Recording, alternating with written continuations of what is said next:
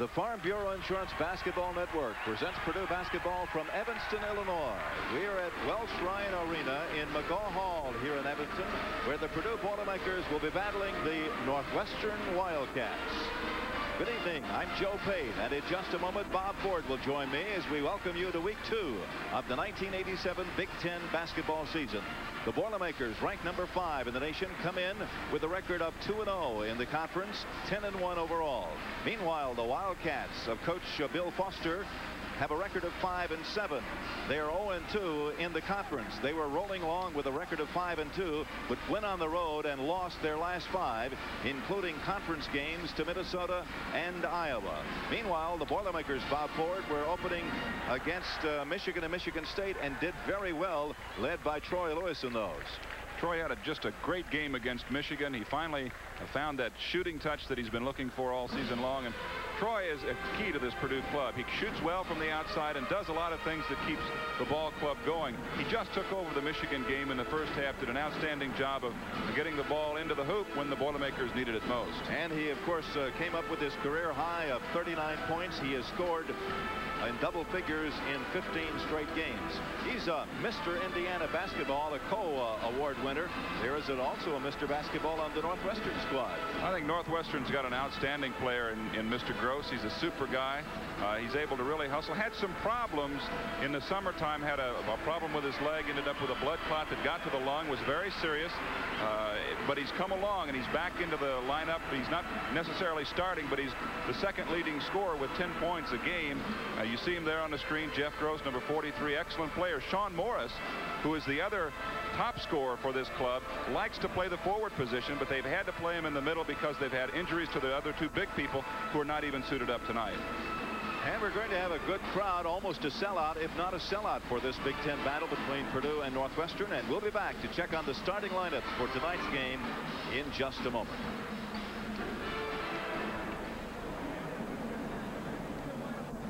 I really like living in Indiana.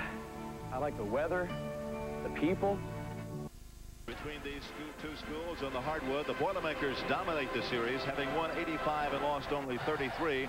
Boilermakers, by the way, have law, uh, won the last six in a row over Northwestern, including last year at West Lafayette when Purdue was 85 and 64. Uh, here the score was 65 to 50 in favor of the Purdue Boilermakers. But on this court, the Boilermakers have had some troubles over the years. The Wildcats have won three of their last seven with Purdue here and five of their last 12 with the uh, last time winning 1983 uh, here in Chicago 66 to 55. Let's go now to the public address announcer and the starting lineups for tonight's game.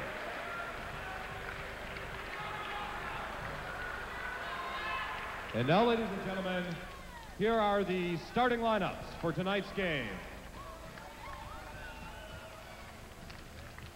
For Purdue at forward, a 6'7 junior from Toledo, Ohio, number 33, Todd Mitchell.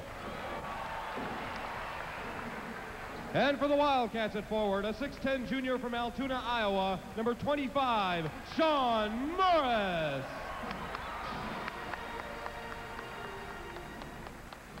For Purdue at forward, a 6'5 senior from Washington, Illinois, number 20, Doug Lee. And for the Wildcats at forward, a 6'7 freshman from Weston, Connecticut, number 44, Don Polite.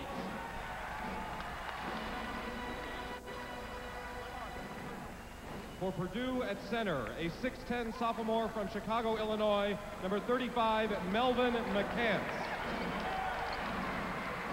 And for the Wildcats at center, a 6'11 freshman from Cincinnati, Ohio, number 32, Brian Ross.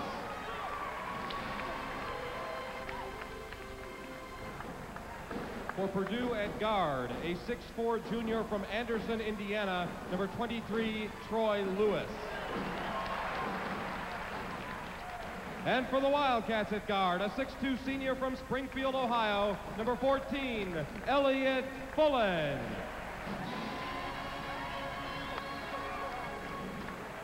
For Purdue at guard, a 6'2 junior from Evanston, Illinois, number 21, Everette Stephens. And for the Wildcats at guard, a 6'1 senior from Harvey, Illinois, number 20, Sean Watts. Purdue is coached by Gene Keady. The Wildcats are coached by Bill Foster, assisted by And there you have the starting lineups. Uh, the last time, Bob, that Purdue met a team that was coached by Bill Foster. It was South Carolina a few years ago, and that was not a good night for Coach Foster. He, he suffered a, a heart attack after that game. They're, they're good friends, Coach Keady and Coach Foster. The officials, Ed Marisich, Randy Drury, and Burl Sell.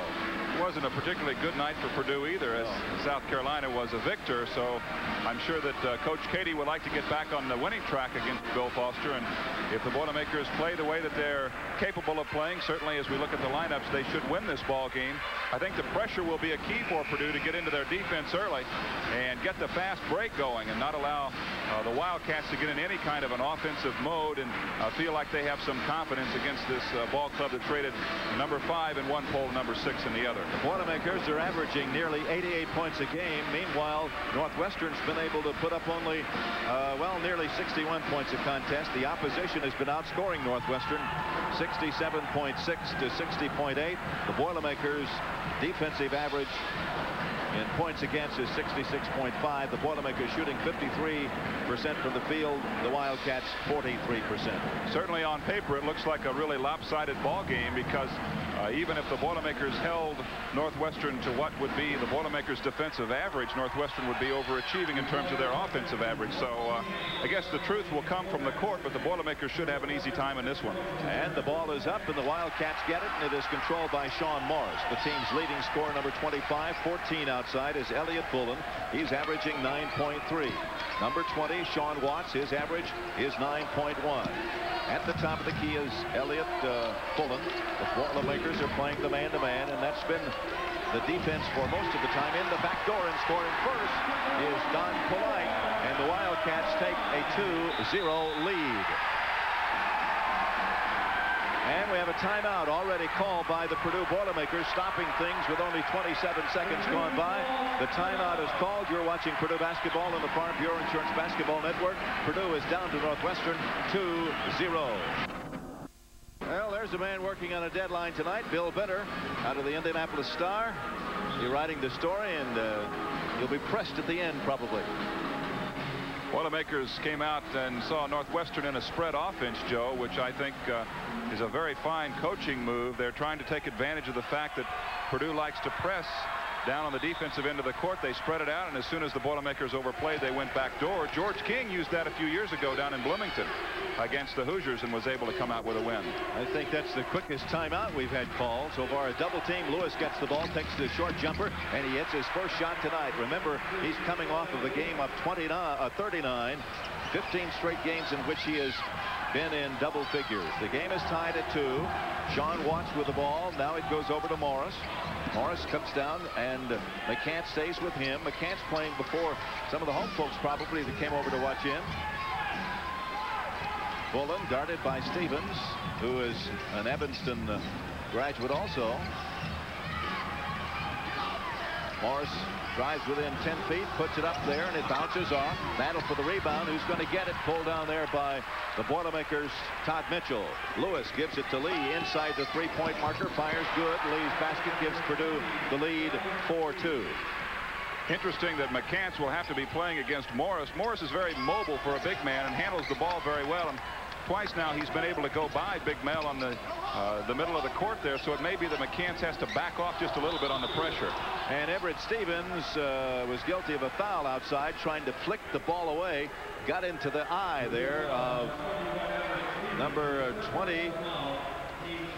And let's look at it again.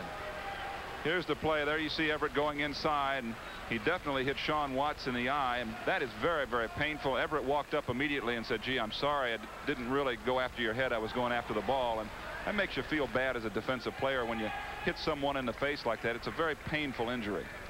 So it looks like that Sean Watts, the senior out of Harvey, Illinois, 9-1 average is going to have to go and sit down a while as the trainer works with him and coach Bill Foster in his first year here at Northwestern 24th year of uh, head coaching makes a substitution Injuries have been a problem for Northwestern as we talked about. Brian Schwabe uh, broke his foot. Brian Pitts broke his hand and now Watts uh, are, is on the bench there with an eye injury. We don't know how serious that is but he was really having some problems as he left the court.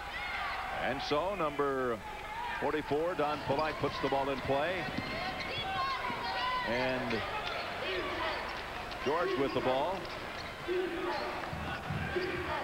Comes down here to number 44, Polite. Polite working against Lee. Here's a sin inside. It goes to Morris. And the ball is loose, picked up there by Stephens, and he sends it ahead, and now here's a steal on the other way. And driving is George. Drives down, gets the ball off there. Uh, to Morris. He can't get it. Lee gets it, throws it to Everette Stephens, and it is showtime already. Stephens with the basket. The Boilermakers lead 6-2. Jeff Grose, 6'3 sophomore from Warsaw. Can't hold the ball and is taken away by Lewis. He scores his second basket. And the Boilermakers have scored eight unanswered points. And the Northwestern Wildcats want a timeout with 17-23 to play in the first half. You're watching Purdue basketball on the Farm Bureau Insurance Basketball Network. The Boilermakers lead the Wildcats by a score of 8 to 2.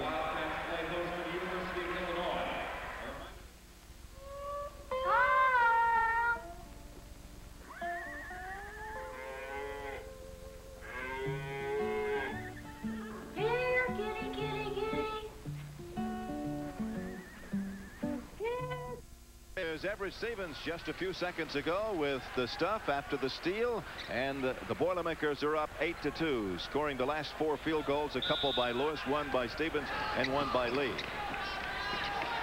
There's a good stat on the screen there Joe 18.9 turnovers forced by the Boilermakers. Here is Polite getting the basket his second of the evening. It is 8 to 4 and that stopped a run of four straight baskets by the Boilermakers. Purdue shooting four out of four. The Wildcats now are two out of four. The zone there by the Wildcats. Troy Lewis for his third in a row. He has six and is a three-pointer, they say. So it'll be seven points for him. And the Boilermakers lead 11 to 4. Or some shooting the last two games for Troy. Here's Polite. Stop there. Double team. Ball knocked away. It belongs to the Purdue Boilermakers.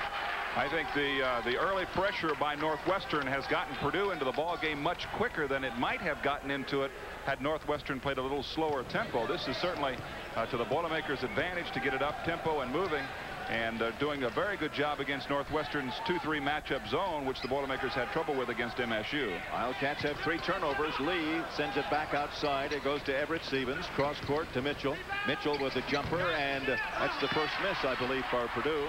And here come the Wildcats. Grose on the drive. It was knocked away by Mitchell. Lewis has the ball. He outran it, lost it. It'll be out of bounds to the Wildcats. Excellent effort by Grose as he went down the lane quickly on Lewis, but it was Mitchell coming over to help out from the weak side. Made a great block off the backboard. So it'll be thrown in by Don Polite for the Wildcats. Playing with the absence of Sean Watts, who got his eye hurt a while ago. Here's the pass inside, knocked away by Everette Stephens as Fullen missed the shot. Lee brings it up, gives to Lewis. Lewis back outside, and Everette Stephens will set it up. The zone for the Wildcats. Lee from three points. Lee hits his second basket of the night. He has five, and Purdue leads 14 to 4, two out of two from three-point range. Five-second call against the Wildcats. Four turnovers for Coach Bill Foster's Wildcats, who have lost their five, last five in a row, all on the road. Wildcats are not playing that poorly tonight, Joe. They're having some problems against the Purdue pressure, as most teams have had, but I guess it's a little frustrating to get breakaway layups like they've had a couple of times and just have athletic ability uh, beat them in terms of being able to block the ball from the backside. Lewis to Stephens. Bounces it to Lee. And Lee is three in a row. He has seven. He and Lewis have 14 of the 16 points Purdue has on the board. Purdue leads by 12. On his radio show the other night, Gene Keady said that Lee one night was going to break out of the slump and have 39, just like Lewis did the other night. Shon Morris drives, can't get it. Ross can't hold the ball. Troy Lewis up quickly. Stops, shoots, too long. First miss of the night for him. Underneath, it's picked up there by Shon Morris for the Wildcats. Here comes Northwestern. Elliot Fullen on the dribble. Everette Stephens is on him. Only one foul in this game, and that's against Everette Stephens. Grose drives. He puts it up. Bounces off. No. Rebounded by Mitchell. Everette Stephens through the traffic. Down to Lee. From three. No. Missed it. Morris got the rebound. Wildcats are on the run. Grose with the ball. Gets Stephens up. In underneath. Missing the shot is Ross. Follow through miss. Troy Lewis has the ball. Grose tried to knock it away and fell down. Troy did a good job of avoiding Grose because he was in great position to pick up that charging foul, but Lewis was able to stop it on a dime and get the ball back and bring it down the court. Boilermakers lead by 12. Lee, right wing. Purdue very patient. McCants sends it outside.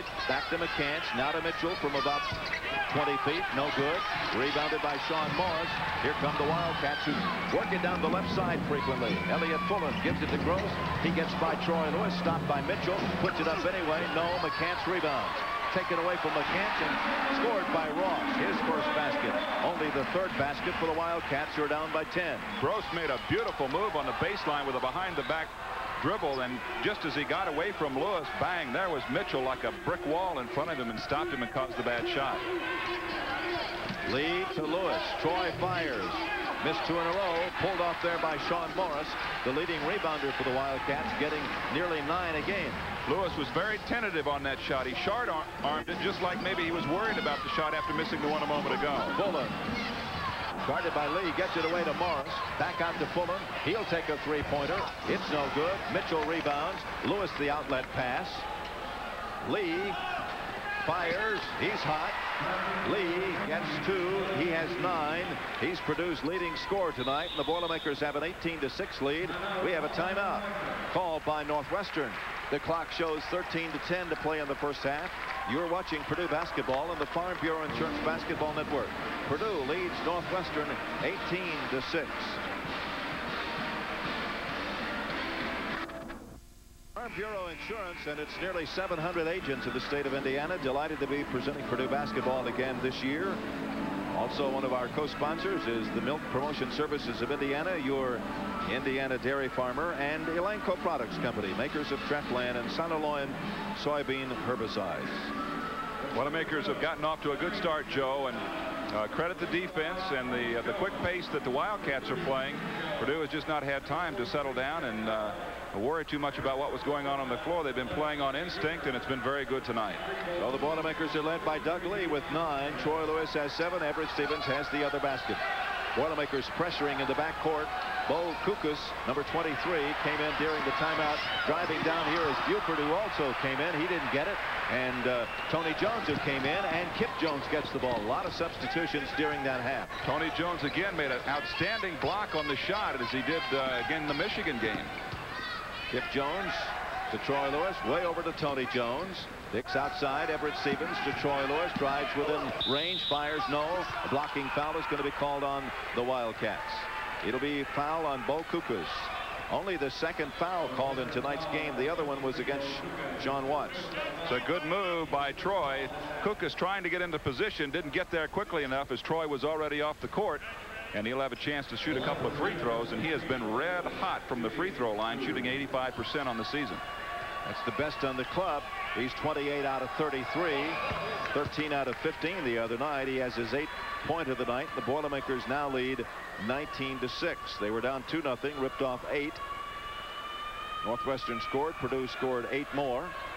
Northwestern scored. Now the Boilermakers have scored 3, now 4.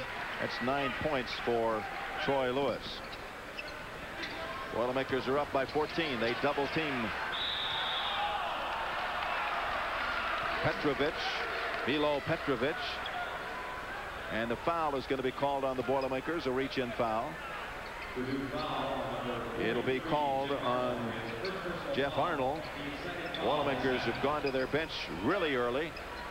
And uh, Troy Lewis and Everette Stephens, the only uh, starters in there here, is a steal and a basket by Everette Stephens, his second basket. And the Boilermakers lead 22 to 6. And again, a walking violation on the Wildcats, and Northwestern cannot handle the Purdue pressure.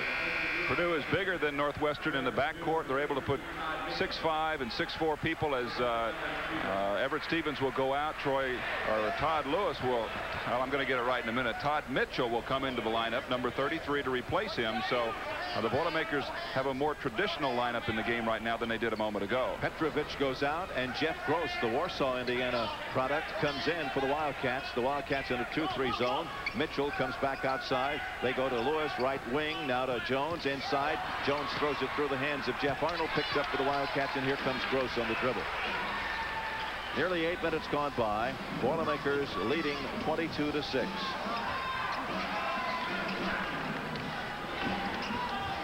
Grose with the ball, works to the baseline, takes the short jumper, can't get it to fall. Here's a foul going to be called over the back on Troy Lewis. Or is it Tony Jones? Troy Lewis, I think. Troy Lewis gets the foul. Here's a look at the uh, from the baseline what happened. There's a shot by Grose. Pretty good shot. Didn't fall. Troy just totally out of position commits the foul. And uh, it'll be Tim Fisher who comes into the lineup replacing Lewis. And now the only starter on the floor for Purdue would be Todd Mitchell. Lewis leaves with nine points, including a three-pointer. Wildcats having trouble getting the ball in. Now they are successful. Kukas with the ball, drives up, no. And the foul is going to be called on Arnold. That's the second on Jeff. That's the fourth on the team. Jeff has had some troubles with uh, fouls in recent ball games, and he's working very hard to help this Boilermaker club. And it probably is one of the most dedicated players on the squad. There you see him move just a bit off of the court, and as he did that, that's where he committed the foul. He was in good position had he held it, but he picks it up, and Kukas will go the line and have two. He's out of Schererville, Indiana, shoots 9 of 18 at the free throw line.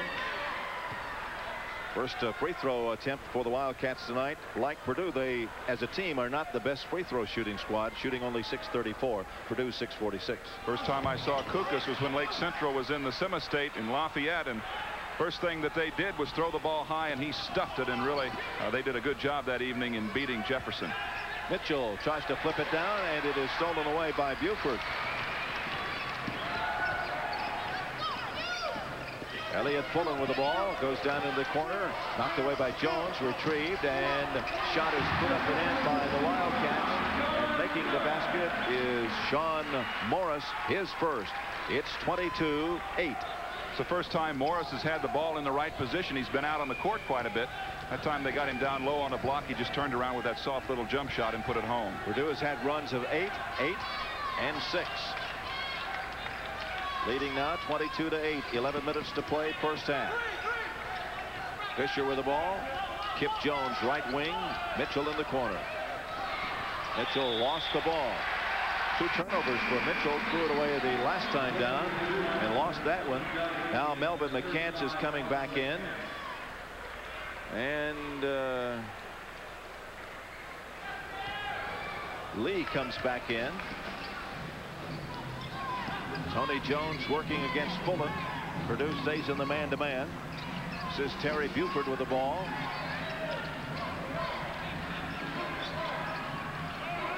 Buford gets rid of it. Stolen by Tony Jones. Going for the solo and puts it in. Jones with a basket. And Purdue leads 24-8. Jones has really played well and since last weekend. I think he really got off to a good start against Michigan and really brought his confidence back. He played well early in the season then had a little drought. Now he's back. Shon Morris guarded by McCants and a little acting but McCants is guilty of a foul blocking foul. Substitution, I think, for the Boilermakers after we take a look at the replay. Again, it's the quickness of Shon Morris because he is a forward and not a center. He's able to go around McCants. Mel is not able to get in the good body position to pick up the foul, and uh, he's charged with it instead. Everette Stephens comes back in. Tony Jones goes out. Tim Weiss, number 42, with the 2.3 average, is in for the Wildcats. That is Weiss with the ball. Drives all the way down, puts it up, and missed it. Mitchell rebounds. Loneliest moment of your life is when you go in uncontested for a layup and let it roll off the front of the rim. Mitchell, by the way, is getting nearly seven rebounds a game. He's second high on the team. Everette Stephens for the alley-oop goes to Mitchell, and he is fouled by Tim Weiss, his first. Substitution, Troy Lewis is back in for the Boilermakers, and Fisher goes out. It's a break for Purdue, the fact that the foul was committed here because the, the pass is off the mark. There you see Mitchell really had to make a great play just to get it. Weiss was on his back, and the Boilers have the ball underneath the basket. It'll come outside to Lewis. In the lane, it goes to Mitchell. Triple team, but he gets the basket. His first of the night. And the Boilermakers lead 26 to 8 with 9.40 left to play first half. Mitchell playing better power basketball than he did earlier. He was shooting from the outside. For the last few games, he's been taking it inside and using the muscle and strength that he has. Jeff Grose out of Warsaw, Indiana. 44% for the field. Lays the ball off to Fullen. Now they go to Shon Morris. He has one basket. He fires for long range. It's off the mark. And there is Everette Stephens sky high to pull it down. Lee into the lane and trying to go for the basket is Melvin McCants. And guess he charged with the ball, huh? Or walked with it? And they must have called walking or jump ball or something because uh, I couldn't see the official. We were blocked out from our position, but uh, they lose it anyway, and it's going to go back to Purdue. But I don't know what happened to McCants down there, whether he traveled or knocked it off his knee out of bounds. So the turnover, the five-second call, gives the ball back to the Purdue Boilermakers underneath Purdue's basket. 9.09 to play, first half. Lewis and Stephens are at the guards. Purdue's starting lineup back in there. Mitchell or Lee gives it back outside to Stevens. Now to McCants. Turns around, fires it off. No. Rebounded by Morris. He's fouled by Lewis. Troy's second foul. Lewis trying to go to the backboard against the bigger Morris. And Sean, although he had the inside position, did let Troy slip by. There you'll see him going low as Morris didn't see him. But 6'9 against 6'5, you're not going to win too many of those contests. So the ball will be in the backcourt of the Wildcats. It'll be thrown in by Shon Morris. It comes in to Tim Weiss. Weiss is a 6'5 senior out of Cissna Park, Illinois. Weiss all the way down. Short jumper. No. Rebounded by Morris. Put up and in. Shon Morris gets his second basket. He is the second Wildcat with two baskets. Absolutely nothing better than being 6'10 going against somebody smaller than you are. And that's what happened is he just went over the top easily. In the back uh, is too high for McCants. And the turnover gives the ball to the Wildcats. And Fullen brings it down. Stephens is on him. Bounces it to Morris. McCants stays with him. Outside to Weiss. Lee's on him. Bounces it inside. Morris goes and is able to get by McCants and score. Morris has a half a dozen. It is now 26 to 12 Purdue. Lewis cross court to McCants. Back up to Everette Stephens and Purdue will set it up with eight minutes to play in the half. Purdue's next game will be Saturday at Wisconsin. I don't think the basket. Yeah, they do give the basket, and the foul is on Fullen. Start to say didn't think it was count, but they're going to give give it to him. Well, that's great body control by Todd Mitchell. Watch him move across there. There's the reach-in foul that knocks him off balance as he starts his shot move. It goes home off the backboard. They counted it. Mitchell will go the line. A chance to complete that three-point play. Second basket for Todd, the 6'7 junior out of Toledo, averaging 16-6 second high on the team. Troy Lewis, the leading scorer, with an average of 18-3. Melvin McCants at 14-6. Everette Stephens 13-2. And Doug Lee at 9-6. Mitchell at the line for the first time tonight. His fifth point, and Purdue is three of three. Substitution. 43 is Jeff Arnold in for the Boilermakers. And 31 is Dave Stack. So the Boilermakers are three out of three at the line, leading 29 to 12. Pressuring all over the court. Weiss with the ball. Gets by Arnold. Lee stays with him. Weiss drives down, lays it off to Grose. Jeff with the 10.2 average has not scored. Hasn't been starting because of an injury. But he is one of two Wildcats in double figures. Sean Morris is the other. Turns around, throws it up, no. Loose ball, who's going to finally get it. Goes through Everette Stephens' hand, now picked up by Grose. Well, the Boilermakers are everywhere. Both of these teams are really scrambling and scrapping after that ball. Makes for an exciting game, even though the, court, uh, the score is not very close. Shon Morris knocks it up in the air and goes after it. Here's a bounce onside. That was a nice play as Grose gets his first basket. That was a beautiful feed inside. Grose did a good job of handling it, but you saw uh, as he looked to the basket, he did look around to see where the Boilermakers were because they blocked a couple of those easy shots inside, but he still knocked it home. Boilermakers are up 29 to 14. It was 26 to 8. Lee in the middle. Arnold shot. Good. First basket for Jeff Arnold. Boilermakers hit the 31-point mark, a 17-point spread. Good shot in the arm for Jeff because he's been struggling with that little jump shot. I know it makes him feel better to hit the first one. Fullen drives all the way and puts it up and in. His first basket. Fullen's a pretty good player, Joe, and he can shoot the ball, but he just hasn't had a lot of luck this year. He's only shooting 38%. I tell you, since the score is 26 to 8, Wildcats have been playing some pretty good basketball. We have a foul going to be called on Kukas. That'll be his second.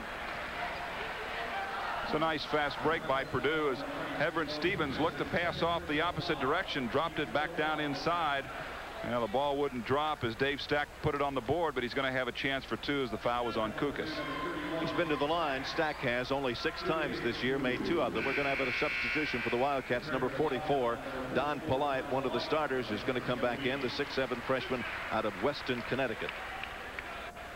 So Stack will go to the line, 6'6 junior out of Palos Park, Illinois. His average is 3-1. Cannot get the free throw to fall, and that'll be the first miss of the night for the Boilermakers after hitting the first three. Lewis was two out of two, and Mitchell was one for one at the line. Stack gets this one to fall. Boilermakers have a 16-point lead 32-16, a little more than six minutes to play in the first half. Petrovic brings it down at the 15-foot mark, stops, and has to get rid of it to Shon Morris. He's guarded with Jeff Arnold. Goes to the right, and Arnold put his arm on him. That's three on Jeff already. He has three of the seven fouls that Purdue has been whistled for tonight. Melvin McCants is going to come back in. Well, we've been talking about the fact that uh, Morris is pretty quick out front handling that basketball, and both the, the Purdue centers have tried to put a lot of pressure on him, and they just don't have the foot speed uh, nor the foot quickness to get the job done, and they picked up five fouls between them as Arnold had to go to the bench with his third. McCants comes in to replace him. And Mitchell comes and Mitchell in. also came into the lineup. So the Boilermakers trying to get back to their starting group, and I believe they have done that now. Stack goes out. We go to the line with Shon Morris, shooting 78% of the year, 45 out of 58. He's up there for the first time. And gets his seventh point of the night. Morris has an extremely high arch for a big man. Normally the bigger fellows don't arch it quite that much. You see the little guys do that, but he really fires the ball high in the air. He has eight points. The Wildcats are two of four now, and the score is 32 to 19 Purdue. Lewis brings it up, and a reach and foul on Jeff Grose. Foul comes with 5.56 to play in the first half. The Boilermakers were down in this game 2 nothing, then ripped off 8. It was 8 to 4, ripped off 8 more, 16 to 4. And then it was 16 to 6, and Purdue ripped off 6. But since then, it's been a pretty competitive game. In fact, uh, Boilermakers have scored 10, and the Wildcats have scored 13 since that point.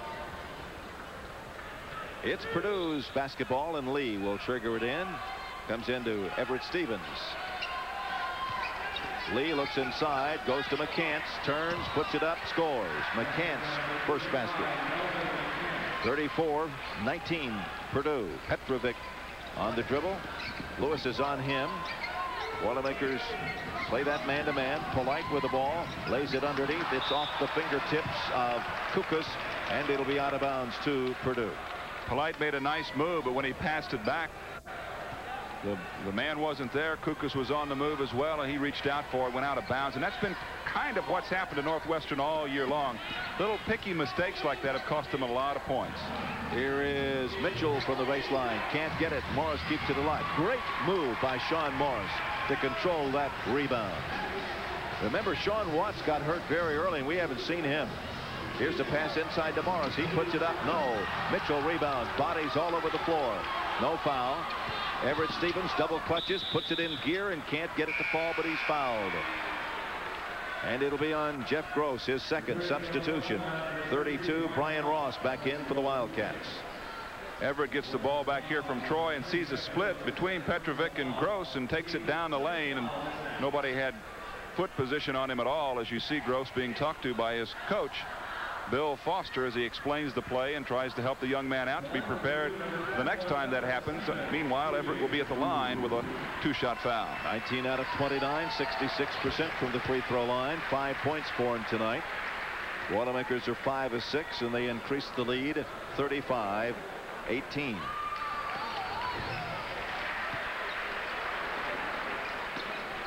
Now it is 36 to 18 with five minutes to play. We're in the first half here in McGaw Hall, Welsh Ryan Arena in Evanston, Illinois. Fullen fires from way outside and gets the basket. His second of the night. 36 to 20, Purdue. Boilermakers looking for their 11th win. Lewis drills it in for three, his second three-pointer of the night, and he has 12. And for 16 consecutive games, he's been in double figures. Petrovic lays it off. Fullen goes down. And now we have a delayed whistle and a double dribble. One official outside didn't see it. The man underneath did, and the ball belongs to Purdue. Well, the Boilermaker bench saw it, and they helped out some as they got the uh, the call made. Ross comes into the lineup, number 32 for the Wildcats, as they still stay in that 2-3 zone. I guess they feel like they don't match up well enough against the Boilermakers not to be in that zone situation, but certainly looking at the scoreboard, that hasn't worked very well either. It's four minutes uh, plus remaining here in the first half. Lee back to Tony Jones. Lewis looks inside. There's Melvin McCants, tries to lay it off, and it goes through, the official says, the fingertips of Mitchell. Good idea. Mitchell was making the move on the baseline. A Wildcat got between he and the ball, and that's when uh, he just couldn't handle it. But it's a good idea. Boilermakers double team in the backcourt. Shon Morris is able to break. Lays it off here to Polite. He almost lost it. Gives it back to Morris. Inside. Mitchell over the back. First foul on Todd.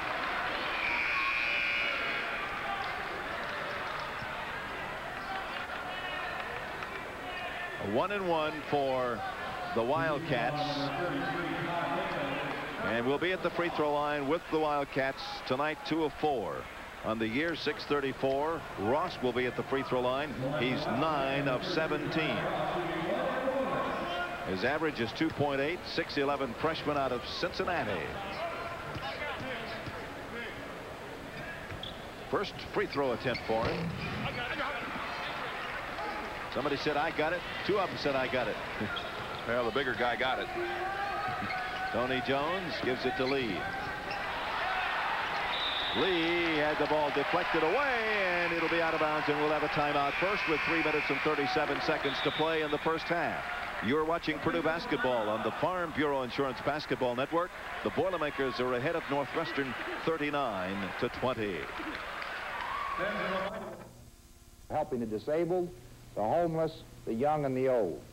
They do that through hundreds of people helping agencies throughout Indiana and the United States. I hope you join me in helping make this the biggest and best year in United Way history.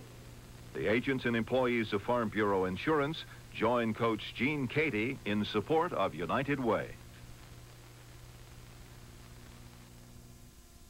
Over Northwestern and has a 10 and 2 mark against the Wildcats since coming on the scene seven years ago. The Boilermakers got off to a quick start here tonight after trailing by two to nothing as the Wildcats came out in a full court press falling back into a 2-3 matchup zone and Purdue has been red hot from the field shooting very well. There you see it 15 of 22 68 percent. Wildcats just can't find the rim they're way down in the 30s, and that's been tough for them. Boilermakers leading in that rebounding contest 16 to 9. They've done a good job on the backboard. So here come the Wildcats, and Elliot Fullen is on the dribble. Tony Jones is on him. He's sticking right with him. Here's a pass underneath. A nice play. There's a foul on McCants as he got close to Ross, and that'll be the second foul on Melvin. Three on Arnold, one on Mitchell, two on Lewis, one on Stephens. Just a little late in making the transition over there. You see Mel got there a little late. Although he was trying to get into position to stop the forward movement of Ross when he got there he bumped him in the chin and hit him on the arm. So Ross will go to the line for a one and one as the Boilermakers continue to lead by 19 but it's been a it's been a toughie so far in terms of physical activity. Steve Scheffler the big freshman from Michigan into the lineup 240 pounds at 6'8". Ross at the free throw line. Is able to make his third point of the night. Three of six for the Wildcats.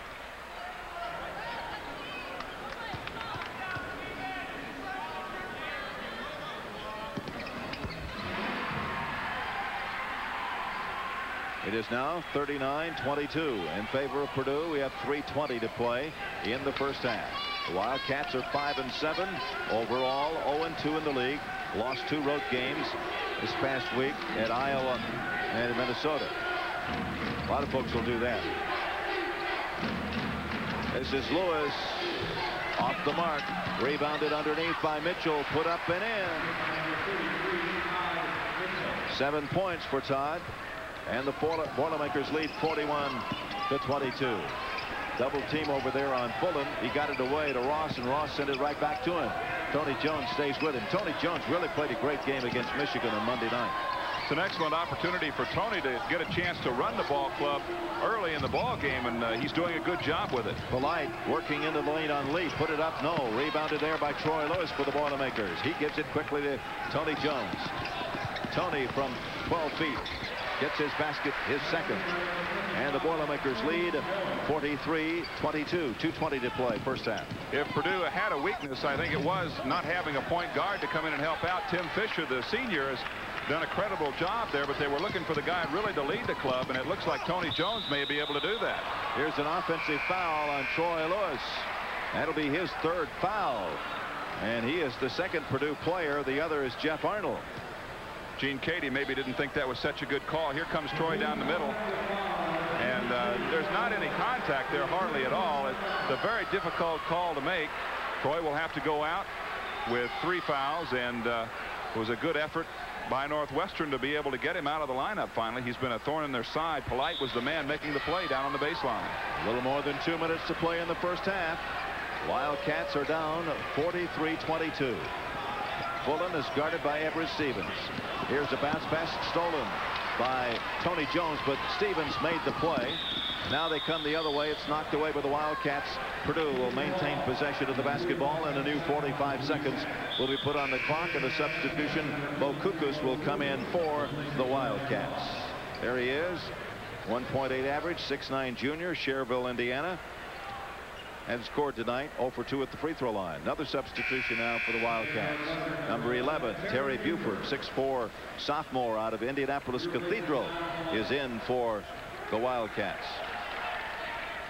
He's been in a once at least before. Mitchell will trigger it in to Everette Stephens. Wildcats stay in that 2-3 zone. Mitchell back to Stephens. Tony Jones right wing. The middle is clogged. They go to Scheffler out to Mitchell. He drives. Short jumper. Good. Mitchell has nine. Boilermakers have their biggest lead 45-22. Grose stops. Buford with it. He drives, goes down, and Mitchell gave him a little bump with the shoulder, his second foul. I tell you, Buford is really quick. Little head and shoulder fake and went right to the baseline. There you see Tim Fisher coming in replacing Tony Jones, who did an outstanding job while he was in the lineup. Played both guard positions, both point and the scoring guard or shooting guard position. Did a good job while he was out there. So at the line, well, the one in bonus is Terry Buford up there for the first time. 12 out of 20 on the year. It's his first point of the night. And the Wildcats are 5 of 8 at the free throw line. Substitution 31. Dave Stack, 6'6 junior from Palos Park, Illinois is in. And Mitchell will go out. He's had nine points, one for one at the free throw line. Boilermakers picked up a lot of fouls here tonight. Arnold with three, Troy Lewis with three, both out. McCants has two, Todd Mitchell has two, Stephens has picked up one. So the Boilermakers have some foul trouble to think about. Pressure by the Wildcats. Several reserves. In fact, uh, all the reserves except one in there. And Everette Stephens with the ball is the only starter for Purdue in the lineup. Stack with the ball comes way outside to Fisher. To Everette Stephens. Stack is two out of four at the three-point range. Here is Scheffler feeding it inside, and Kip Jones is driving for the basket, and he's fouled by Kukus. Kukus has three fouls. Good job by Scheffler to find Jones down on the baseline. That's what McCants was trying to do a moment ago with Mitchell. Nobody goes any harder to the backboard than does Kip Jones. And there you saw him going full boat up there. Couldn't get it in the hole, but he'll have a chance to take uh, two shots there. Chris Berg comes into lineup. This is a young man that is a freshman was an excellent player for Northwestern, then had a severe knee injury, and it's taken him 21 months to get back. He's number 22. Used to have a 41-inch vertical jump. I tell you what, uh, if I could have had that, I'd have been a lot taller than I am now. Kip Jones at the free throw line has had a little difficulty there this year. 10 out of 21. The Boilermakers are 6 of 7 from the stripe this evening with a minute 5 to play in the first 20 minutes of this basketball game. Jones misses both of them. Taken off the board there by the Wildcats. Buford uh, brings it down, gives it to Fullen. Now to Buford who hustles after the ball. Purdue stays in the man-to-man. -man. Buford out of Indianapolis Cathedral and Grose out of Warsaw, Indiana. Boilermakers have dropped back into their 2-3 matchup zone now.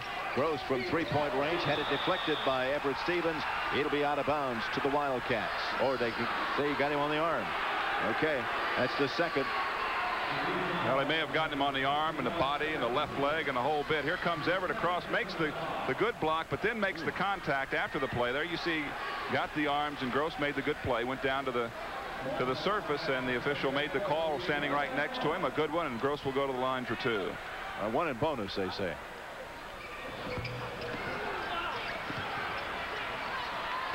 Stack deflected the ball, and Fisher picks it up.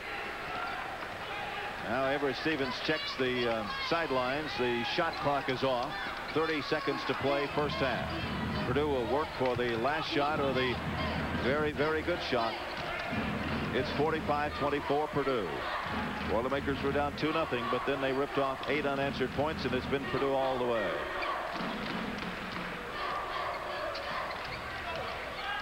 We have 10 seconds remaining in the half. Now five. Everette Stephens fires. He didn't get it. It's pulled off there by the Wildcats. And there's the buzzer. And that is the first 20 minutes of this basketball game. The first half of this Big Ten battle between the Northwestern Wildcats and the Purdue Boilermakers. And at halftime, the score is Purdue 45 and the Wildcats 24. We'll check the individual scoring in just a minute. Cats by a score of 45 to 24 as we check the unofficial scoring here in the first half. The Boilermakers have eight players that have scored in the game. The Wildcats have seven. The Boilermakers are led by Troy Lewis. Has a couple of three-pointers tonight. He has 12 points. Doug Lee has nine points. He uh, has a three-pointer. Todd Mitchell has nine points. He's been to the free throw line once and made it. By the way, Troy Lewis went to the line twice and made both of his. Melvin McCants has a basket. Uh, Jeff Arnold has a basket. Stack has one for two at the free throw line for one. Tony Jones off the bench. Two field goals for a total of four. Everette Stephens has six points. He's two for two at the free throw line. Uh, Kip Jones went to the line twice, was unable to score. On the other side, the seven players that have scored for the Northwestern Wildcats are Shon Morris with six points, three field goals, leads the team in scoring. Brian Ross has four points, two out of three at the line. Polite has two field goals for four. Jeff Grose has a field goal for two, missed his only free throw attempt. Uh, Bo Kukas went uh, off the bench. He had two free throws and missed them. And uh, Elliot Fullen has a couple of field goals for four points. Terry Buford, the young man out of Indianapolis, went to the line twice and made both of his. I think Bob uh, Ford, the key may have been uh, for Northwestern, might have been the uh, injury early to Sean Watts. That certainly hurt them. He got poked in the eye very early. In fact, I think in maybe in the first minute or so of the game and has not played since. Boilermakers have uh, one man, two men in foul trouble. Troy Lewis with three and Jeff Arnold with three. The only man for the Wildcats with three fouls is Bo Kukas. Tonight's game between Purdue and Northwestern is being played at the Welsh Ryan Arena, McGaw Hall. Here, trying to help out some of the fans. He looked like a basketball player, Bob. Looked like he might have played somewhere, Joe. He was four out of eight and shooting some of them from way out on the court. The uh, Boilermakers uh, again tonight burn up the nets here in the first half as they are leading the Wildcats 45 to 24. Boilermakers had a number of players in the, the scoring column tonight. Again, Coach Keady has used them very well. Boilermakers have, though, had a little trouble handling the ball. 12 turnovers. They normally only turn the ball over 14 times during an entire game. I think you expect turnovers in a game like this because they're playing so fast. There you see Northwestern has 11, so both teams throwing the ball into the stands quite a bit. Boilermakers doing an excellent job on the backboard with 20 rebounds as compared to 11 by Northwestern. Free throw shooting is better, but it's still not above that 70% mark for either team. Boilermakers at 67 with 6 of 9, 6 of 10 for Northwestern. On the shooting from the field, Purdue has been red hot, as we mentioned a moment ago. 18 out of 27, 67%. That's tough to beat when you're on the road.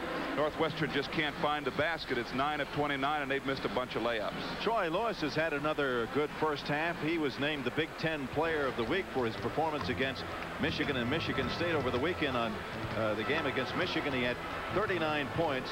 He was 12 of 15 from field goal range, and he missed only two free throws in 15 attempts. Tonight, I noticed that he's 4 of 7 and 2 of 2. He has uh, a couple of three-pointers also.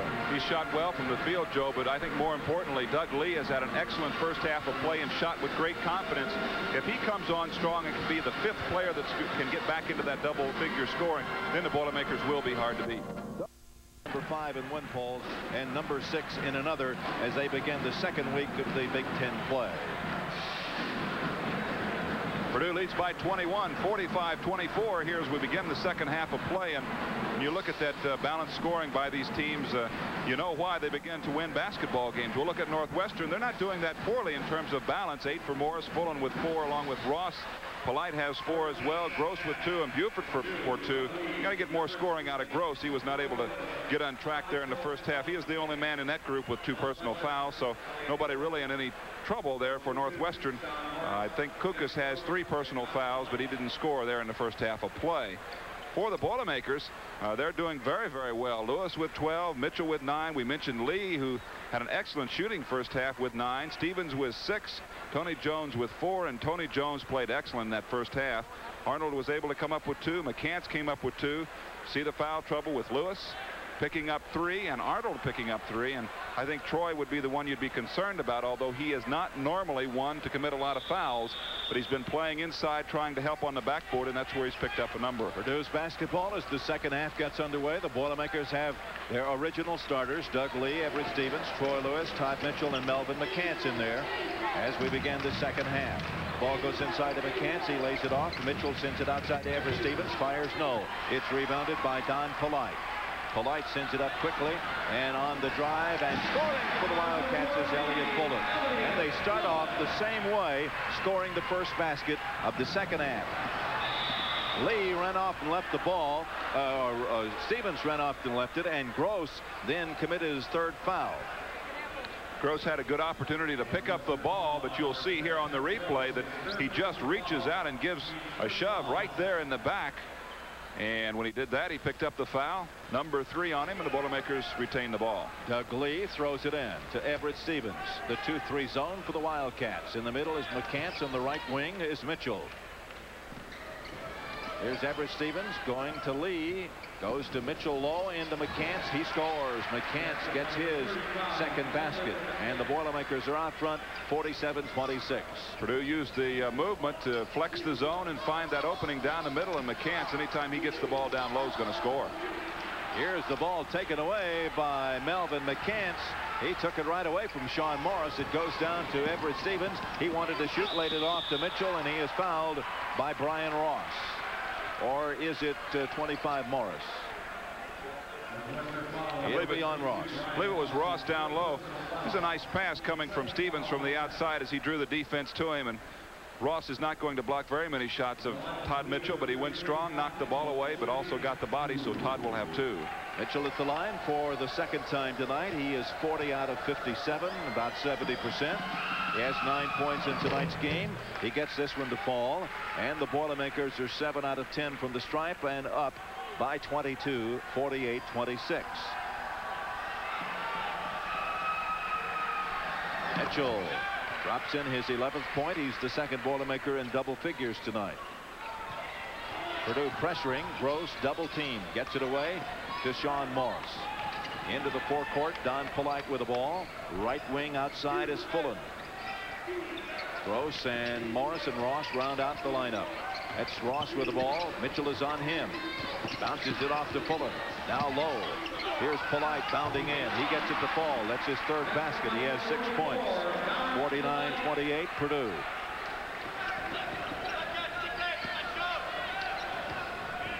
Boilermakers play Saturday afternoon at Wisconsin. Lewis couldn't get it to fall. McCants got it off and we have a foul on Shon Morris which will be his first. McCants had good inside position that time and brought the ball down. Morris going over the top again out of position and gets the hand caught in there. Nothing he can do but foul. Mel tries to get the shot up but I don't think they'll allow that. It'll be out of bounds to the Boilermakers under their basket. And Lee will throw it in for Purdue. It comes out to Everette Stephens. Lewis goes left. Lee fires. Lee can't get it to fall. Shon Morris rebounds. He's the team's leading rebounder at 8-1 a game. We played two minutes of the second half. Boilermakers continue a big lead. Morris underneath powers his way in and gets his eighth point. His first basket of the second half. That cuts it to 19. 49 to 30. Purdue lost the basketball. It's a matter of not talking on the offense. Somebody should have told Everette that Morris was coming from behind. The Boilermakers were turned around looking at that. Nobody said anything, so they lost it. Grose into Morris, his second straight basket. He has 10. And it is now 49-32 in favor of Purdue. Here come the Boilermakers. Troy Lewis from about 18. He couldn't get it to fall. And uh, Elliot Fullen pulls off the board. Since very early, Troy has missed a number of shots. I think he hit his first three, including a three-pointer. Doesn't look like Purdue's going to be as hot from the field this time, and they're going to have to start working that ball down inside until that shooting touch comes back. Fullen outside, guarded by Everette Stephens. Stephens with two fouls. Here's the shot made by Fullen. Fullen has eight points. Well, the Wildcats are shooting the eyes of it right now. They've hit their last three in a row and maybe even more than that. That's the how many I can remember. So eight unanswered points. The Boilermakers are having some trouble with their defense this time around, and the offense is not as hot as it was earlier. Purdue was up 49-26. Here is the ball off the board, and Melvin McCants battling for it commits his third foul. He's the third Purdue player with three. Arnold, McCants, and Lewis. Uh, now the Boilermakers have got some problems, Joe. They've got a lot of fouls. They're not playing well on offense. And defensively, Northwestern is beginning to slip through their uh, setup. So Boilermakers are going to have to get tough right quick, or all of a sudden they're going to have a ball game on their hands. So with 16:42 to play in the game, the ball belongs to the Northwestern Wildcats, who were down 49-26, and now it is 49-34. Eight unanswered points for Northwestern. Grose bounces it low. There is Shon Morris. He lost it, picked it back up. He has 12 points already. Three, three field goals in the second half. And we have a foul in the backcourt. And Everette Stephens winds up on the floor, and Grose winds up with his fourth foul. That's four already on the Wildcats in this half. You notice Northwestern has not really used the press against Purdue. I think Bill Foster, as he's talking to Milan Petrovic there, recognized that that just got Purdue in their up-tempo game, and they, did, they didn't want that to happen. They wanted Purdue to play more of a slow, deliberate style. Purdue's lead all of a sudden has dwindled to 13. Lewis fires, no. Lee rebounds. Lee puts it up. What a move by Lee. He has 11. First basket, second half. That stopped a run of 10 by the Wildcats. Lee is a great competitor, and, he leads by example out on the court, and he'll get his teammates going. Here is a nice block by Everette Stephens on Fullen. Fullen got it back. Grose has it, and Lewis is on him. Two great Indiana products. Grose missed the ball, and Lee goes hard for the rebound, and he is fouled by Brian Ross, his second foul. Going to have a substitution. Grose is going to go out. Number 33, Milo Petrovic comes in. Here's the shot again a moment ago by Grose from the outside. Look at Doug Lee. Just competing and hustling very, very hard to get in there and get the rebound and to be a leader on the court. We have a timeout now with 15.54 to play in the game. You're watching Purdue basketball on the Farm Bureau Insurance Basketball Network. The Boilermakers lead the Wildcats 51-36. Think back to last year. Guiding that 5 to 22 toward the closing of the first half. It, the halftime score was 45 to 24, so that 23-point lead has dwindled now. It is down to 51 to 36. In a moment it will go. It was down to 13 points. Northwestern came out with uh, blood in their eye. They decided they're going to play this Purdue team as tough as they can. And Boilermakers are not quite as sharp nor shooting as well from the field here in the second half of play. Their defense hasn't been as good. Mitchell to McCants. McCants inside and scores well on the feed from Mitchell at six points for McCants. And the Boilermakers lead 53-36. I think Gene Keady has had the idea that maybe they ought to get the ball inside. And certainly they did that. And anytime they get it down low to Mel or to uh, Todd Mitchell, they're going to score baskets. Petrovic goes back outside to Buford who checked in during that timeout. Boilermaker defense looks a little stronger this time down the court. They're playing with more intensity. Buford goes to the right wing. Lee stays with him, pressures him. 15-14 to play in the game. Here is Petrovic driving, and Mitchell, no, it is uh, Mitchell blocking off inside, and Stephens getting his third foul as he goes up and gets him on the arm, and Lewis was also there.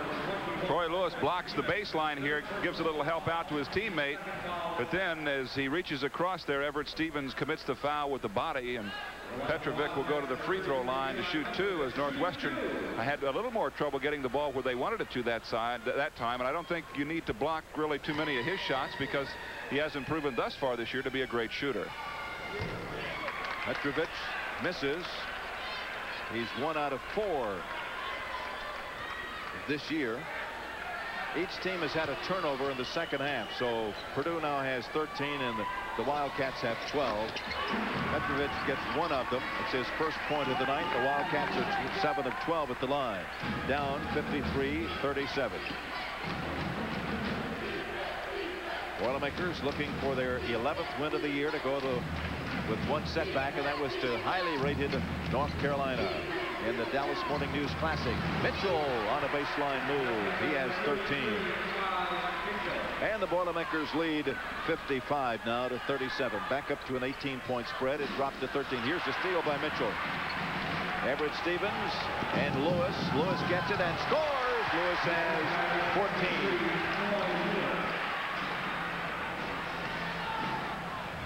And the Boilermakers have a 20-point lead all of a sudden, Bob. Well, anytime Purdue can get into that fast break ball game, they certainly play a lot better, no question about that. And it's keyed off of their defense. They have to make steals, and they have to be mobile on defense. Three Boilermakers in double figures. Lewis with 14, Mitchell with 13, and Lee with 11. Underneath, Shon Morris drives in. He's fouled by Mitchell, and the basket will count. That's the third foul on Mitchell. Morris gets his 14th point of the night. Just good power basketball. Ross gets the ball. This is the same play Purdue has been using to get the ball low. And Morris, a good power player inside. Mitchell picks up, picks up foul number three. And now that is one, two, three, four Purdue players, five Purdue players with three personal fouls. Melvin McCants goes out, and Jeff Arnold comes in, and Shon Morris goes to the free throw line for the third time tonight. He made both of his others. He has 14 points on the board. He sends that one sky high for his 15th. 8 of 13 for the Wildcats. They cut it 57-40. Boilermakers lose the basketball. Buford comes up with it and scores. He has four points. First field goal. Wildcats, they won't go away. It's a good hustling ball club, and it's a it's a a trait of Bill Foster's teams. They will work hard and they will fight you all the way along. Arnold to Lee outside to Mitchell and now Stephens will set it up for the Purdue Boilermakers. Purdue again I think will try to work the ball to the inside or at least penetrate the defense and not worry about that uh, outside shot. Lewis drives inside can't get it to fall in there. It's deflected away by the Wildcats out of bounds Purdue. Purdue 2-0 in the conference having beaten Michigan State and Michigan Saturday and Monday. The Wildcats 0-2 having lost to Iowa and Minnesota on Saturday and Monday. Wildcats have played their last five games on the road, losing all of them. They were 5 and 2 when they went on the road. Here's Arnold inside, and he scores his second basket. Boilermakers lead 59-42. Purdue's offensive average is 87.8. The Wildcats 60.8. Pulling down. Got two. He has 10 points. Here is Lewis. Didn't get the roll. Mitchell got the rebound. He didn't get the roll. There's a battle for it, and there's going to be a foul called on the Wildcats. It'll be on Kukas, his fourth. Good hard work inside by Todd Mitchell. He just muscles Buford out of the way, puts the ball back up, and the darn thing won't fall in for him. And there was Kukas on the arm as Mitchell again went to the backboard. As the Boilermakers continue to rule there, remember they won that battle by nine in the first half. It is the second uh, Wildcat with four fouls. The other is Jeff Grose. Kukas and Grose with four fouls. Purdue's Tony Jones outside, goes inside low and throws it away. 15 turnovers for Purdue. Fullen brings it back the other way. In the circle, fires, and it won't fall. Lewis rebounds. He's fouled, and the foul will be on Terry Buford, his first. And that is, I believe, seven on Northwestern. Wildcats still battling hard. There's Troy Lewis down inside. Good position. Here comes Buford from the backside. Commits the foul with the body. So it'll be Troy Lewis at the other end. He's been shooting free throws very well. Has hit all of his here tonight and shooting uh, better than 85% now in the season. He is 28 out of 35. Your host is Farm Bureau Insurance and its nearly 700 agents in the state of Indiana along with the Milk Promotion Services of Indiana, your Indiana dairy farmer, and Elanco Products Company, makers of Treflan and Sonalan soybean herbicides. Lewis with a one in bonus. Trickles it in there. 15 points for him tonight. Purdue's 8 of 11, and the lead is 60 to 44 for the Boilermakers. Troy Lewis, Purdue's best free throw shooter, is able to drop both of them in. He has 16. Boilermakers lead 61-42. The lead had dwindled to 13. It had been up to as many as 23. Wildcats come through there. Kukas gets the dribble. Buford with the ball has to bring it back outside. Lee stays right with Buford. Go down to Shon Morris. He turns, makes a move on Arnold. Boy, he did make a move, didn't he? 17 points for him. Good job by Morris. He's an excellent player, and there you saw the kind of move that he could make on the baseline. His best game has been 22. His average is 12.8, and Lewis gets the basket. That is 18 points for Troy Lewis. 39 and 18, the last two, not bad, right? Purdue is up 63-46. Wildcats come quickly, and Shon Morris gets in for his 19 points. Don't look down, you'll miss something. Wildcats really finding a hole in the back of that Purdue defense. And they've been able to get the ball to Morris. And boy, I tell you, when he gets it down low, you can just put him on the book. He has 13 points in the second half. Troy Lewis bounces it out, and he retrieved the ball low. Purdue is lucky to save that one. Lee goes to Mitchell, right wing. Tony Jones to Troy Lewis. He'll get two. He has 20. 65-48 Purdue. Remember Lewis on the performance against Michigan State and Michigan named the Big Ten Player of the Week. They go inside to Ross. No place to go. Comes back out to Petrovic. He drives on Lewis, and Troy's able to stop him, at least for a while. Petrovic turns around and scores it up there. His first basket, third point. All of a sudden, the Wildcats are matching Purdue basket for basket. Well, in the second half, the Wildcats have been able to outscore Purdue uh, by five or six points, so the Boilermakers not winning this half of play. Arnold gives to Lee, drives, can't get it. Arnold goes for it. He can't hold on to it. It's on the floor, picked up by Shon Morris. It'll be three on two. Boilermakers had Lee on the floor on the other end of the court. Here's the ball loose, and it'll be out of bounds to Purdue, but we've got the Boilermakers Lee on the other end of the court lying underneath the basket. I think he had his head stepped on, Joe, and went up to the basket, and they came down and really crunched him. And I think maybe it was uh, the big guy, Shon Morris, who came down right on top of Doug Lee, and they're they're uh, with his nose right now. Maybe he's got a, a little whack on it. Here comes the play. Made a nice move. Shot with his left hand. Wouldn't fall. Goes back up for the rebound. And there's where he got hurt. Right here. He gets the foot in the face. Well, we have a timeout. You're watching Purdue basketball on the Farm Bureau Insurance Basketball Network. The Boilermakers lead the Wildcats 65 to 50.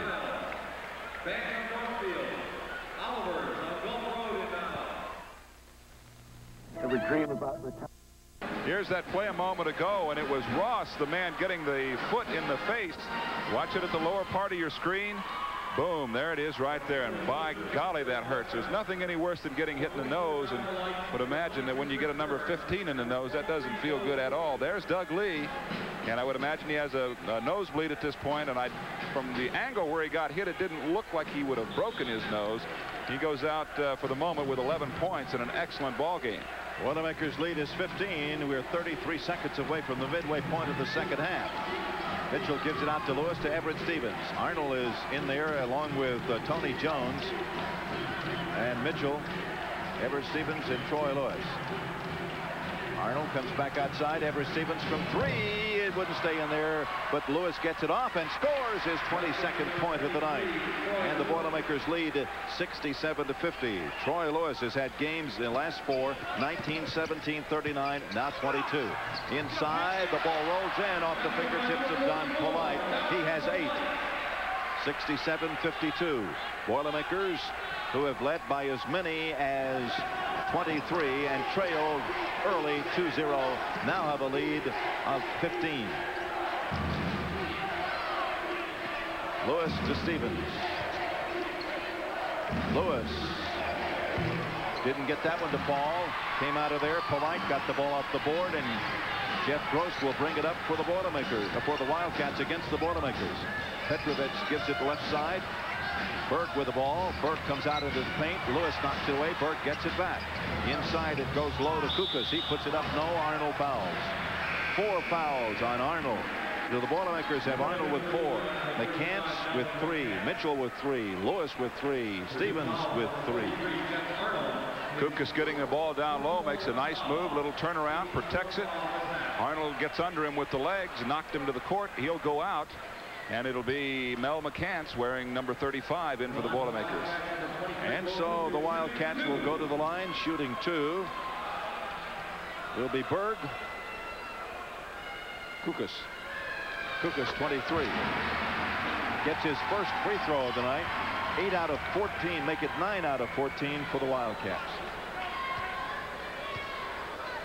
Kukas not a very good free throw shooter on the year less than 50 percent. Boilermakers rebound. Tony Jones gets the ball. Little more than nine minutes to play in this one. That interchange a moment ago when Doug Lee went out. I see they're working on Ross on the other side, so must have uh, gotten a little injury. Melvin McCants inside gets his eighth point. Lee's getting ready to come back in. Makes a little more than a punch in the nose to keep him out, right? Or a kick in the nose. Maybe that's it. I think a punch in the nose would have felt better. Here's the ball low. Berg gives it into Shon uh, to uh, the Wildcat underneath Kukas, and he's able to power for his third point of the night. 69-55. Mitchell took a heck of a hit down low, and they didn't call a foul on anybody. I, I thought they would call something, blocking or charging. He really took a bang. Lewis, left wing, Tony Jones, Everette Stephens looks inside, trying to see McCants free. Lewis will stop and shoot, and it falls off. Battle for the rebound, picked up by Tony Jones. He can't get it. Loose ball. Jones knocked it away again. McCants goes through. No. Foul on Grose, and he'll be through. That's five on Grose. He'll leave with 8.14 to play. I'm going to tell you, Tony Jones made a great play in there to keep that ball alive, to get it back to McCants. Jones is a real competitor. Here's the shot from the outside. Watch Tony battle inside. Here he picks it back up, goes against Berg, can't get a hold of it. And here he'll come back again and knock it away. And McCants goes in strong. He would have committed the offensive foul against Berg, except for he was fouled earlier by Grose. Morris and Petrovich come into the lineup for the Wildcats. The Boilermakers bring Doug Lee back into the lineup. So Purdue has has uh, its starters in there now. Lee, McCants, Mitchell, Lewis, and Stephens. And McCants goes to the line. You know, Northwestern's just a couple of breaks away from being right in the ball game, down by only 14. That could be 10 very easily. Melvin McCants does not get it to drop, and the Wildcats come off the board with it, and Petrovic comes down quickly. Lewis is on him.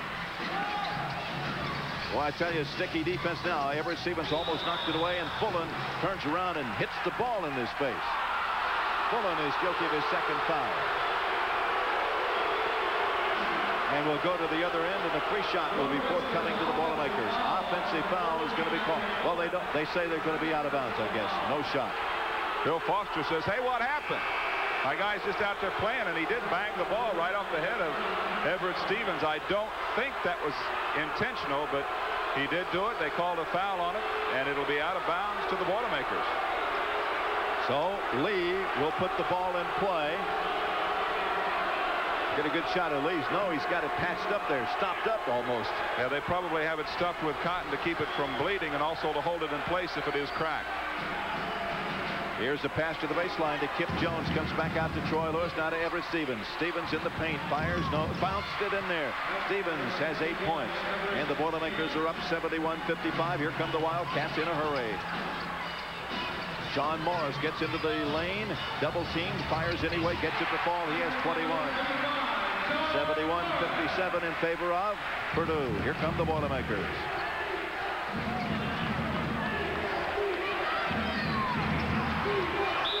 Kip Jones tries to go inside. He can't get it to fall, but he's fouled. And Kukas, I think, is the man who's going to be charged with his foul.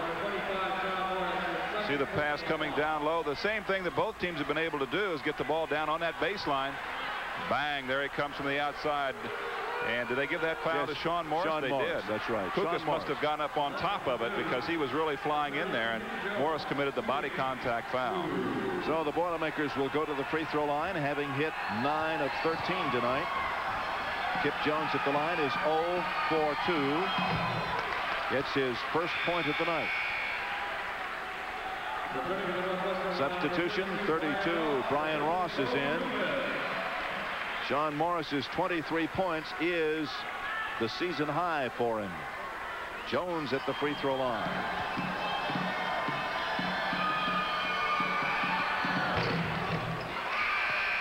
If Jones gets his second point of the night. It's 11-15. We have a timeout with 7.25 to play. You're watching Purdue basketball on the Farm Bureau Insurance Basketball Network. Purdue is ahead of Northwestern 73-57. With 7.25 to play, 73-57, the Boilermakers are ahead of the Northwestern Wildcats. Troy Lewis with 22 points for Purdue.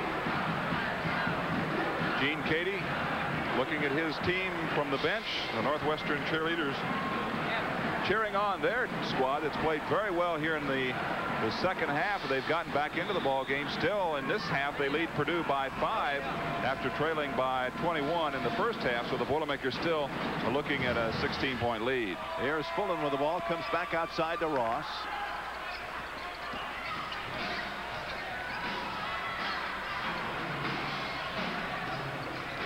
Wildcats down 73-57.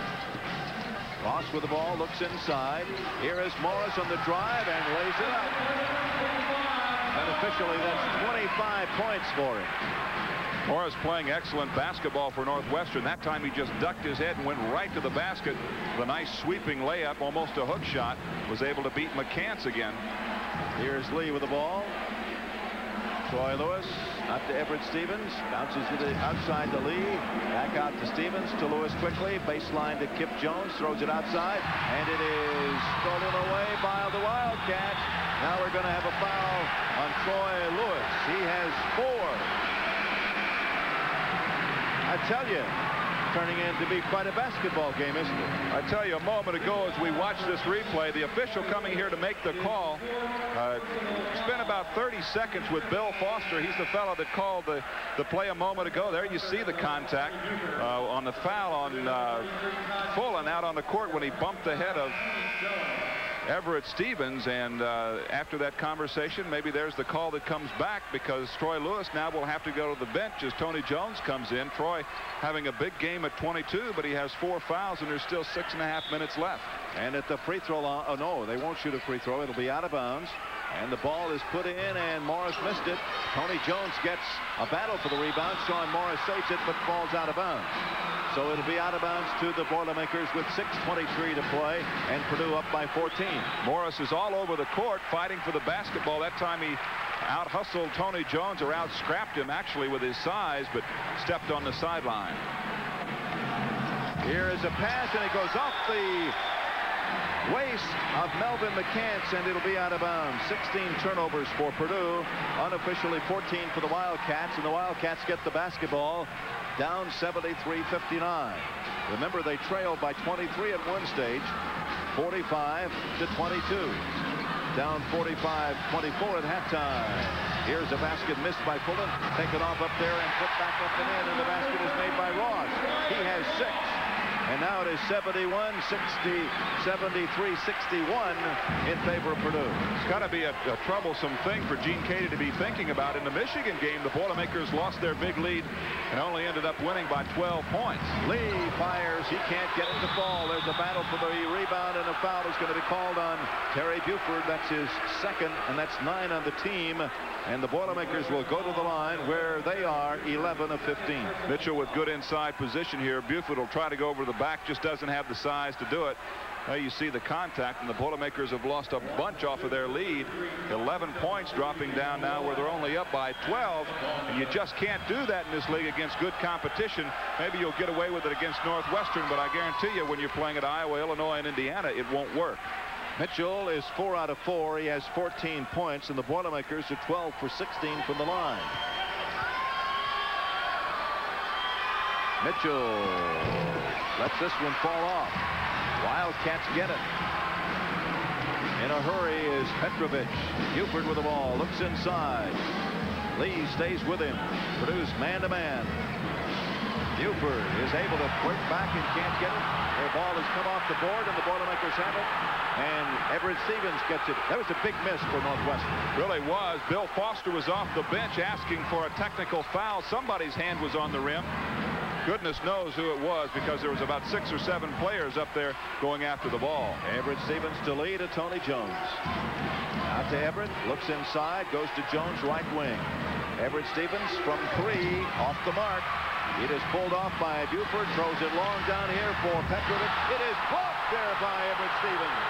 Everette Stephens has 10 blocks. He leads the team. Here's Mitchell down the other way. He goes up. No, but he's fouled. And the foul is on Ross. He has three.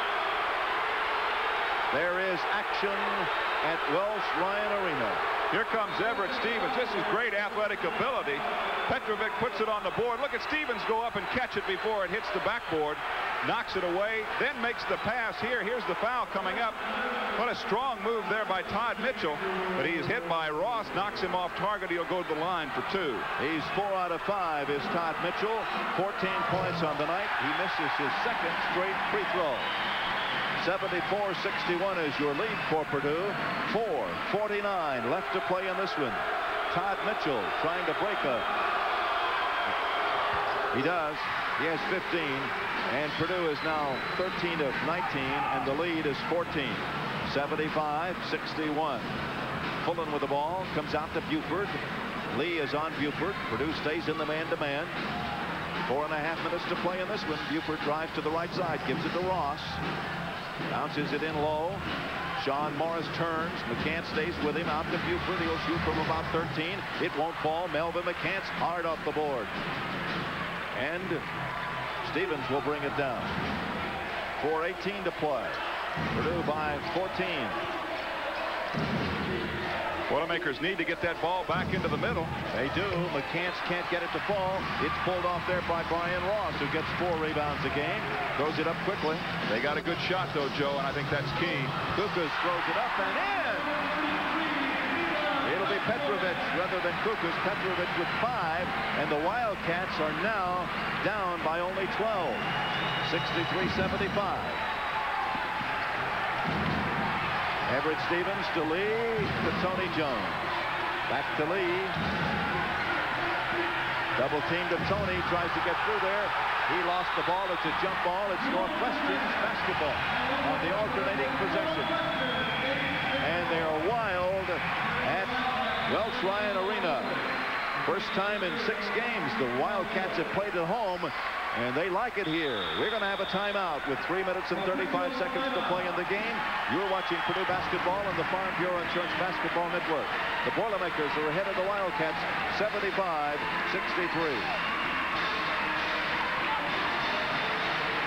Can I get up to date?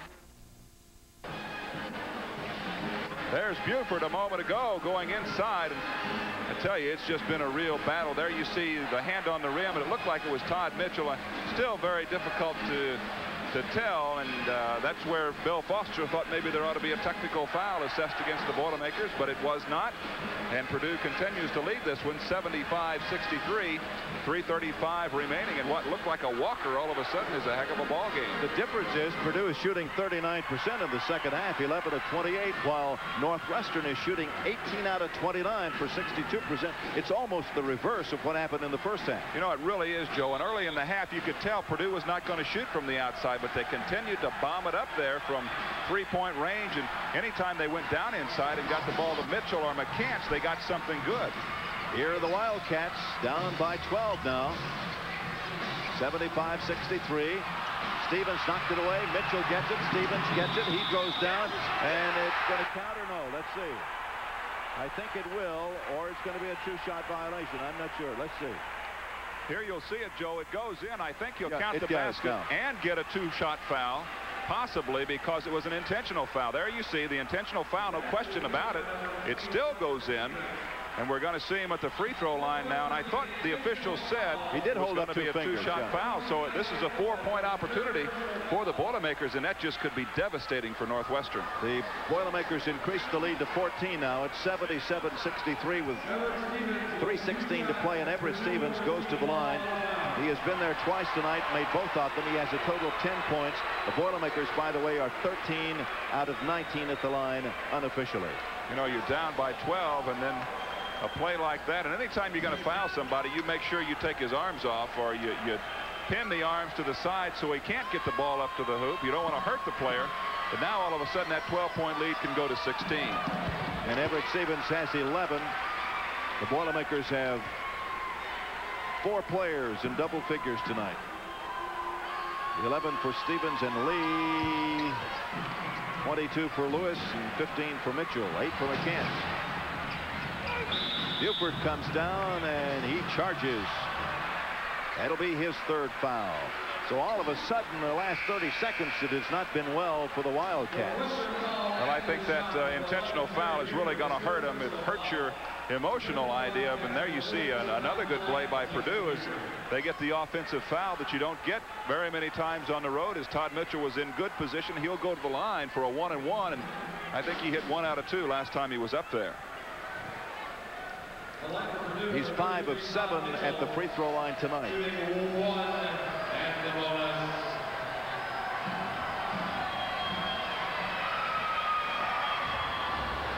Mitchell gets this one to fall through for his 16th point of the night. And the Boilermakers go up by 16 now. It was down to 12. 16 points for Mitchell. It's both of them. And the Boilermakers are approaching their offensive average of 88 points a game. Watch the Boilermaker pressure now, still using that matchup zone, Joe, and they're going to try to keep the ball away from Morris. Shot is missed over there by Petrovic. It's bounced around and the ball is loose. It'll be out of bounds to the Wildcats. Kukas got the rebound had a good chance to put it back up there. Didn't protect the ball, and Big Mel McCants just reached out and slapped it away. So the ball belongs to the Wildcats. It comes outside to Elliot Fullen, has 10 points, six in the second half. But the big gun has been Shon Morris with 25 here tonight. 17 of them in the second half. He gets this one to bounce off, and what a rebound there for Mitchell. And a hand went way up there. Stephens through the traffic. I don't know how he kept possession of the ball, but he gets it inside, and the ball falls through, and it'll be Lewis with 24. Couple of amazing plays there. The fact that Stephens held onto the ball after he dribbled it off of everybody's feet. And then it was a miracle shot by Lewis. Here is a steal by Lee. And the Boilermakers come the other way, and I think you can put this one away now. 82-63. It got a little precarious there when it dwindled to 12. I think Purdue just had to get it into their minds that Northwestern, although they got that big lead on them, they're still a good ball club, and they could come back on you if you don't concentrate. Stephens on the alley-oop. It is stolen away underneath by Polite. Wildcats come the other way, and Fullen drives down to the baseline, is able to put it up there. No. Rebound uh, taken there by Everette Stephens. Everette will dribble it down with a minute 50 to play. Everette's done a good job on the backboard tonight, too, Joe. He's really uh, been in there battling with the big guys and pulled down six or seven rebounds. So the Boilermakers take some time off the clock. 30 seconds on the shot clock. Lee bounces it to McCants back outside, and it's keep away time. A minute 25 left to play. Boilermakers lead 82-63. Will go 11 and 1. The Wildcats will go 5 and 8 and 0 and 3 in the conference. And the Boilermakers will be 3 and 0 headed for Madison, Wisconsin in the Saturday afternoon game. Lewis from long range. Lewis with two has 26. His last two games, 39 and now 26. Well, his average in the Big Ten is 28, so he's nearing that just a bucket away. I would suspect he's the Big Ten's leading scorer after two or three games. Less than a minute to play. Polite back to Morris. He fires. He got it. 27. And that is his career high. At 26 against Wesleyan last year. He's 27 now, and that's his best performance. It's 84 to 65.